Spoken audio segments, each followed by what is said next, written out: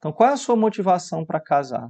A minha motivação, se eu quero realmente ter um, um matrimônio cristão, a minha motivação deve ser formar uma família santa. A minha motivação não deve ser uma paixão forte que eu tenho por alguém. Nossa, sou muito apaixonado.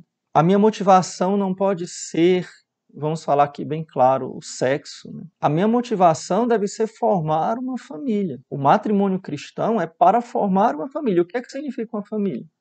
o marido, a mulher e filhos. E para que que serve essa família? Qual é o objetivo desta família? O objetivo é que o, o esposo ajude a esposa a se santificar.